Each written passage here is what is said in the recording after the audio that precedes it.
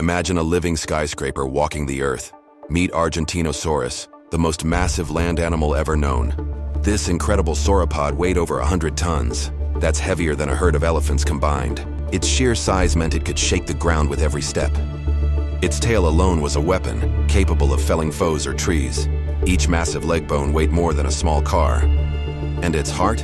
The size of a car pumping blood to a body longer than a basketball court. But here's the mind-blowing twist. This giant started life from an egg no bigger than a volleyball.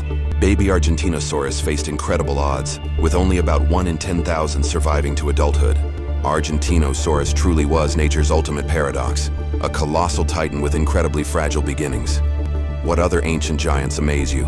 Let us know in the comments and hit like if you're awestruck by this dinosaur.